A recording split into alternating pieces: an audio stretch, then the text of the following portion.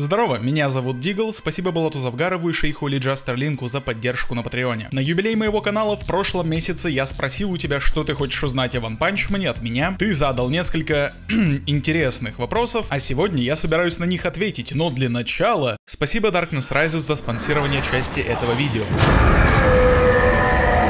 Darkness Rises — это эпическая ролевая игра в стиле фэнтези, в которой тебе нужно будет спасти мир от вторжения демонов, сражаясь с интересными и сложными боссами, следуя по захватывающему сюжету, окруженным великолепной графикой. Выбери персонажа по вкусу среди добротного выбора классов, позволяющего создать своего героя с нуля, и опустись во тьму. Воспользуйся уникальной RPG-механикой, связь душ, и захвати контроль над злобными монстрами, чтобы обратить врагов против самих себя. А затем создай отряд из легендарных героев и отправляйся в рейды по подземельям, чтобы найти редкую добычу. Только помни, что сложность PvE сражений увеличивается, чем дальше в бездну ты углубляешься, так что будь готов проверить все свои навыки на прочность. А использовав Использовав код на экране, ты получишь 3000 самоцветов, 10 костюмных билетов и 10 билетов снаряжения в подарок. Переходи по ссылке в описании или закрепленном комментарии на Darkness Rises и начинай свое эпическое путешествие уже сейчас.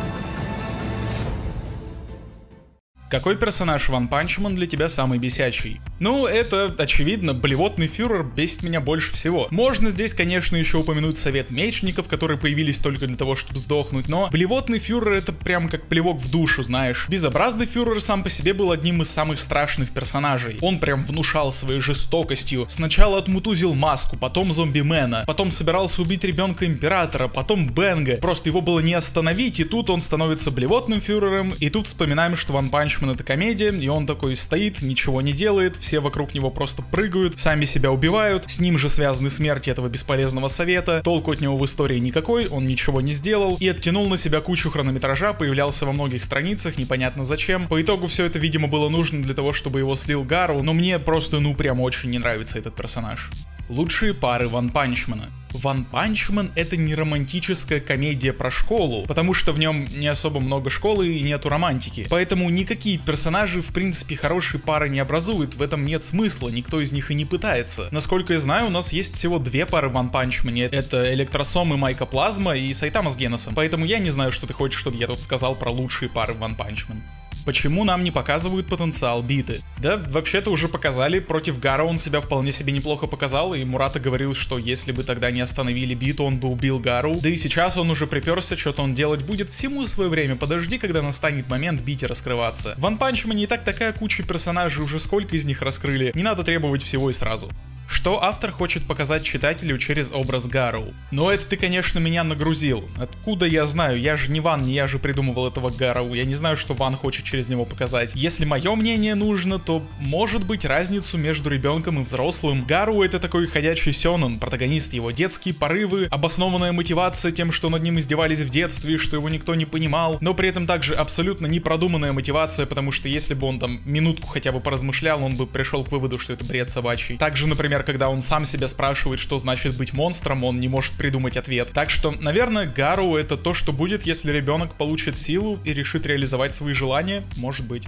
Насколько сильна одноклетка черноспермия? Как бы многие не думали, но мы ни разу не видели одной клетки черноспермия в манге. Разве что в вебке, по-моему, осталась одна клетка, но все, что было в манге, это были либо тысячи, либо еще больше. Нам вот недавно показывали 100 клеток, которые уворачивались от стальной биты немного. Но это довольно парадоксально, потому что 10 тысяч клеток не могли увернуться от биты. Что-то не туда ухожу. Короче, одна клетка, скорее всего, по силе примерно как ребенок, я не знаю. Что из себя представляет усиленная форма монстров? Э, усиленную форму этих монстров? Может ли кто-то из Ванпанчмана нанести урон Сайтами? Нет. Сможет ли Псайкорочи выдержать удар Сайтамы и сможет ли поднять его своим телекинезом? Тут все очень похоже с Тацумаки, будет сильно зависеть от желания Сайтамы, как я много раз уже говорил. Если он будет просто стоять на месте и даст себя поднять, может быть, я немножко сомневаюсь, все-таки она намного слабее, чем Тацу, но с другой стороны, этой сцены в манге у нас тоже не было, где Тацу бы поднимала Сайтаму. Короче, я думаю, что может быть она сможет его поднять. А насчет выдерживать удар, так она уже его выдержала, когда ее кусок прилип к лысине Сайтамы. Прямой удар по себе себе, может быть, все зависит от того, как захочет этого Сайтама. Это ответ на оба твоих вопроса. Может ли Сайтама утонуть? Может ли он убить себя? Утонуть, я думаю, нет. Убить себя, да, но он не умрет. Сколько Сайтама может продержаться в космосе? Сколько ему будет нужно? Может ли Бласт быть связан с организацией и является ли он героем на самом деле? Может, но к этому нет никаких предпосылок, просто также мы ничего о нем не знаем, что этому бы противоречило. Возможно, его костюм был создан организацией, может быть, э, то, что его сын состоит в неогероях, возможно, его связывает с организацией. Все это довольно бесполезные спекуляции, которые ни на чем не основаны, поэтому я их не делаю. И если нужно мое мнение, думаю, да, он является героем.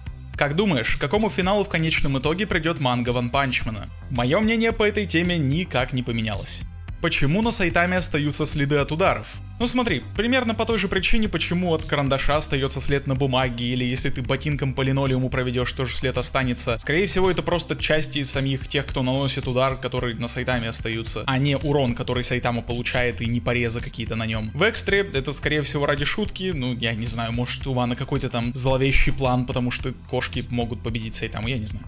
Если бы Сурью монстрифицировался, он был бы сильнее Гакетсу или слабее? Хм, еще один вопрос, с которого нам нечего судить. Гакетсу у нас был победителем первого турнира, который вроде как был более масштабный, но в нем не участвовал Бэнк и также не участвовал Сурью. Сурик у нас побеждал на нескольких турнирах, но они были уже поменьше, и там участники довольно-таки слабенькие. По силе Сурик себя показал на высокого демона, может быть там почти низкий дракон хз. И я думаю, что Гакетсу был примерно того же уровня, высокий демон, низкий дракон, я сомневаюсь, что он был особо выше. Так что тут может быть что угодно. Я думаю, что может быть, Сурью был бы сильнее, потому что у него воли побольше, чем у Гакетсу. Может быть, тот как-то слишком быстро сдался, я не видел на нем особых повреждений после боя с Орочи. Не знаю, тут не о чем особо судить, я думаю, Сурью был бы сильнее.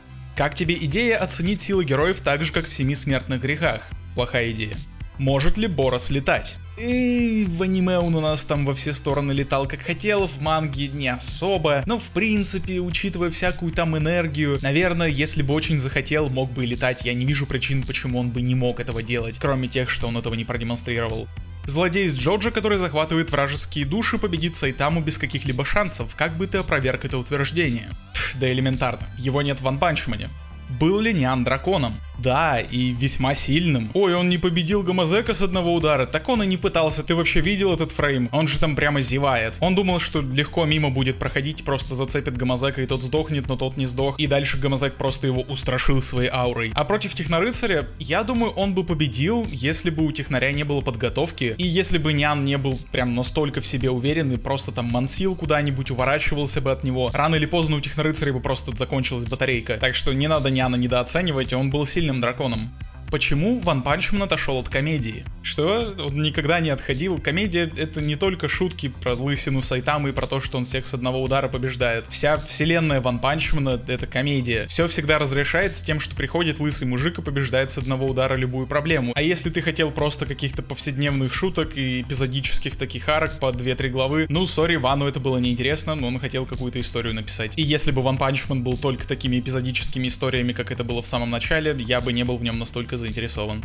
Кто, по-твоему, сильнее, атомный самурай с клинком солнца или Бэнк с дыхательной техникой? Э, ну, я даже не знаю, с чего тут судить. Они никак друг с другом не встречались, не сражались с какими-то сопоставимыми соперниками. Атомный самурай у нас смог отрезать руку златоспермию, но тот не особо сопротивлялся и так чисто на фане был. Бэнк у нас держался против Гару, но по итогу проиграл и там Гару без сознания. И по итогу Гару со златоспермием сражаться не будет, он будет сражаться, скорее всего, с платиновой формой. Так что мы тут даже в будущем фиты никакие толком не составим. Я думаю, если Атомный Самурай победит первым ударом, то Атомный Самурай победит. А если не получится, то скорее всего Бэнк, потому что у него просто выносливость закончится очень быстро. Я думаю, что Бэнк со своей дыхалкой подольше продержится. Смог ли бы Бэнк победить Златоспермия в манге? Прям вот из того же разряда вопрос, может быть? Тут все будет упираться в выносливость обоих, у кого бы быстрее закончились силы, у Бенга или клетки у Чеса. Если мы приравниваем Бенга с дыхалкой к атомному самураю со своим клинком, наверное, у Бенга были бы хорошие шансы, но с другой стороны выносливости у него не так уж и много, и в дыхательной технике он может не бесконечное количество времени находиться. Хз, мое мнение, может быть. Я думаю, я ответил на все более или менее вопросы. Если у тебя есть какие-то еще, можешь задать их в комментариях. Не то чтобы я на них отвечу, но может быть кто-нибудь другой тебе на них ответит. Подобное видео с ответами на вопросы я уже давненько не делал с 2019 года. И в принципе нету особо смысла делать их часто. Надеюсь, ты меня простишь за рекламу в начале. Давно у нас их уже не было. А за поддержку на Патреоне хотелось бы поблагодарить Александра Моисюка, Карола 1, Виктора Волкова, Дюнюкариса, Куриного Фляйша, Жирную Жопу Хмеля и Салатика. Также спасибо всем патронам поменьше и спонсорам, которые поддерживают меня здесь на ютубе. Если ты хочешь к ним присоединиться и поддерживать меня материально, ты можешь, конечно, перейти на мой Patreon или спонсорку, но также можешь кликнуть на ссылку в описании или там в закрепленном комментарии и поиграть в Darkness Rises. А вещал для тебя Дигл. Пока. Fuck yourself.